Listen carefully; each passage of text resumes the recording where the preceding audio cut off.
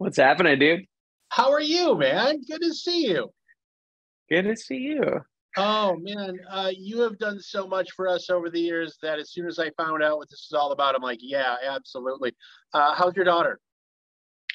Uh, she's doing all right. I haven't talked to her this morning yet, but uh, I'm sure she is laughing and just lots of laughing. She likes to laugh a lot. Dude, uh, a hospital is never a place to be, and as a parent, uh, it hits a lot. You know, when it's you, you just go, you just keep on. No matter how bad it is, you go in your head. You're like, well, I'll be fine, and I'll get out of here. But when it's when it's your child, uh, when you don't know what's going on, your case, you really, really are, are sort of in the dark about what's going on. Uh, explain a little more about about what Frances is going through. Yeah, so about two years ago, um, our our sitter noticed Frances having seizures.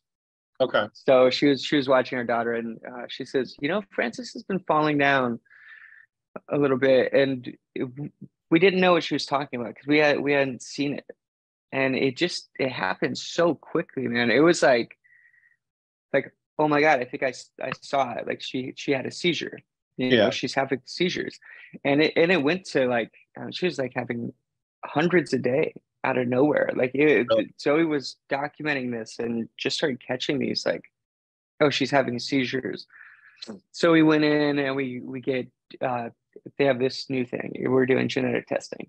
So okay, test tester um, come back after months and months. Um, oh, she has something called DHDDS.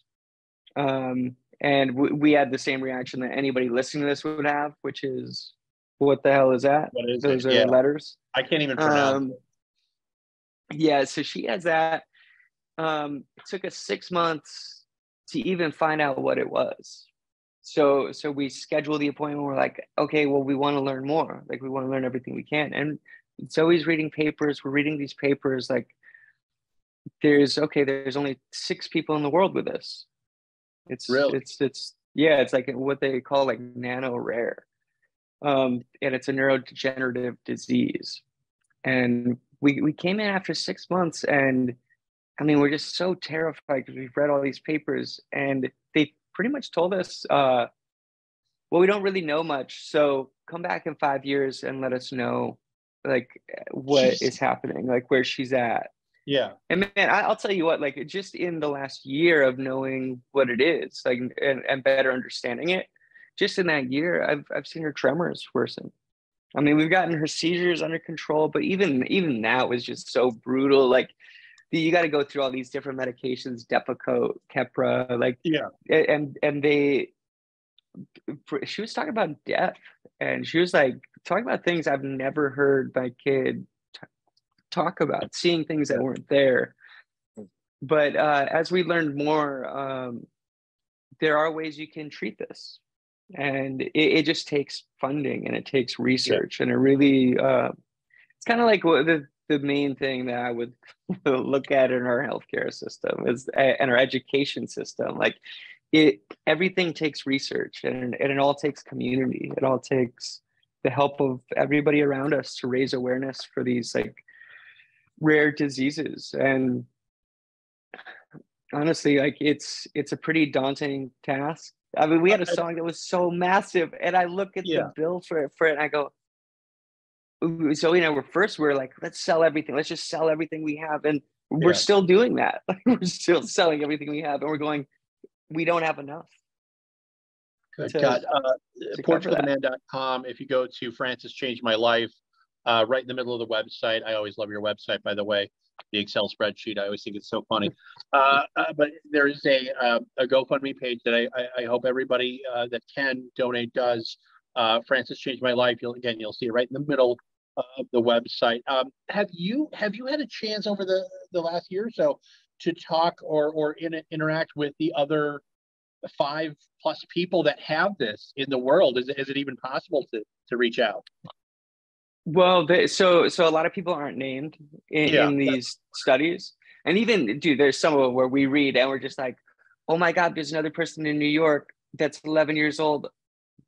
That's Frances. That's got to be Frances. Because yeah. you're like reading the papers. There's no names. So the, there's a few people in China and a, a, few people in Italy. Okay. And we we haven't been able to connect with them, but there's a, a we're a subset of DD, DHDDS. So there are 70 people who have uh, a different form of DHDDS, and we have connected with them. And that's again what this stuff is all about. Like you yeah. connect and try and learn as much as you can from each other, help fund all of this research, drug repurposing, like yeah. So we've we've connected with a couple, and there's some folks in England that have been doing some really good stuff. So we're all just chasing every lead we can. Yeah, is that what they're finding? I'm always fascinated with with medicine and specifically pharmaceuticals when you find out that a, a, pharmaceutical for one thing, especially with something this rare, can work and, and help another thing. Has that been the case, at least with the seizures, uh, easing up on those? Uh, the seizures, the seizures are under control right now with uh, okay. Lamictal. Um, that but it was a it was just a brutal process. I mean, there was a point where it was just like, dude, I because they're like, take it, you have to take it for two weeks at least before you kind of start seeing it working, okay. and uh, like some of the side effects start d- d- dying down. And man, like she she's this happy kid, and she was coming into my room every mo- every morning, just going, no, like we are not friends. Like, I don't I don't like you. You don't love me. And she was she would come in and she would just wake up and say this stuff to me. I'd be like, oh. Whoa, oh. I don't think we can keep doing Depakote. And they'd be like, yeah. give it another week, give it another week. You just be going, I have to trust my gut on this. Yeah. Yeah. You know, like it's been it's been a month, dude. Like I don't know if I can sit here like my daughter is not being herself. I mean, they, they, it's just such a brutal process and I feel for I, everybody who who goes through yeah. that. I can't begin to imagine. We have a ten year old, and and man, like I said, every every medical visit, you're always you always worry as a parent. Like I don't, there's no book that's written about parenting that helps you with this. I don't think you just go through it. And like I said, it's always different when it's you uh, versus you know. For me, it's like if, if someone's talking to me, I'm like, throw science at me as much as you can. I'll test out whatever you want. But when it's when it's somebody else that you that you love and know, and, and like you like you said, uh, you know her her demeanor when that changes because of it. It's it's got to be so uh, so goddamn difficult that where do you start? You know. Yeah, I mean that that is the the hardest part. I I just think, you know, we have this platform like we we've like worked really hard and we like doing things for other people. And I would yeah. love to see if we can fix this, like we can fix other things. And and I want to see this stuff become more accessible to people. And that research makes it more accessible to people because the research is what costs the most money. I mean, yeah, developing these drugs is where where the costs are. So if we can develop these drugs, we can make it accessible to folks and affordable to other people. So like I, would rather use my space to do that than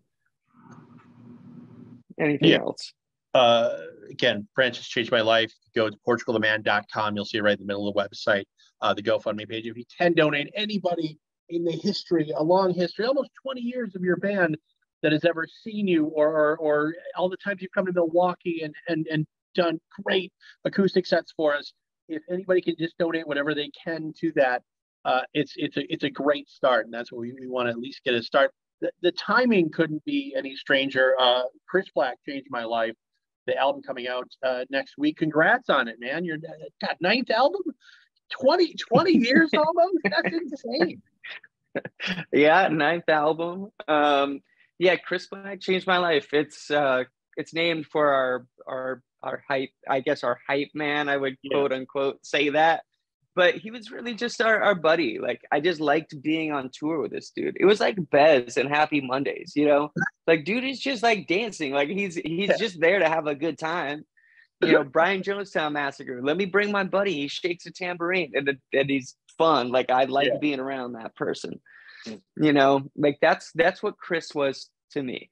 And I, I know that Chris knew this stuff, but none of us really got to say this out loud while he was here. And th- my whole thing with Frances, Frances changed my life. Chris changed my life. You know, it's this album is about talking about people who change your life. Yeah. And I mean, that's, that's a, a thing that I think would be incredible for everybody.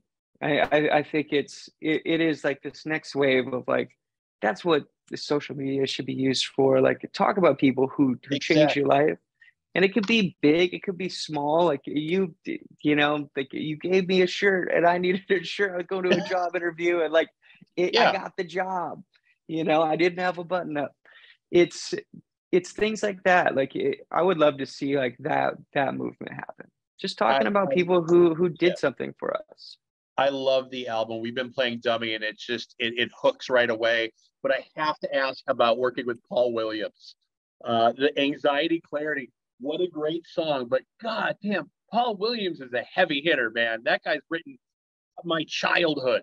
I can't imagine what that was like working with him.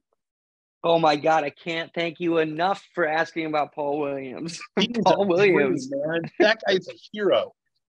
Yeah, dude, I don't throw around genius very often, and I think you would be offended if you called him a genius. But uh, he he is everything he says is so poetic yeah. you know it's it's he's such a beautiful human and just the way I, have written with him for for a long time now I mean, yeah. five years we've been writing together and we, wow. we we we do a bunch of stuff and like hang and I do he could talk to me about driving in his car down the freeway and it, it will move you to tears.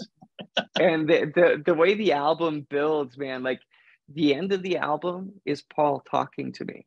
So like we were singing yeah. in the studio. So like we were we were actually having like a duet um and i don't i don't do that with anybody outside of paul. Paul is the only person that i have ever felt comfortable enough to go into a room with and just sing back and forth. I mean and and we're sitting there singing and and he turns to me and he's singing in the in the song he's talking about anxiety and he turns to me and he says you know everybody's scared I know uh, this is the, this is a time in this world like I feel like everybody's scared, and I yeah. feel this weight, this anxiety. You know, it's like we're watching this forest fire coming over the hill, and it's it's biblical, it's cinematic, and he's just talking about the beauty of this forest fire. And if you get too caught up in that beauty of that forest fire, it's going to consume you. And he, he was just speaking to me, and we got done with that, and I mean, it's just it's so emotional when you're in the room with him.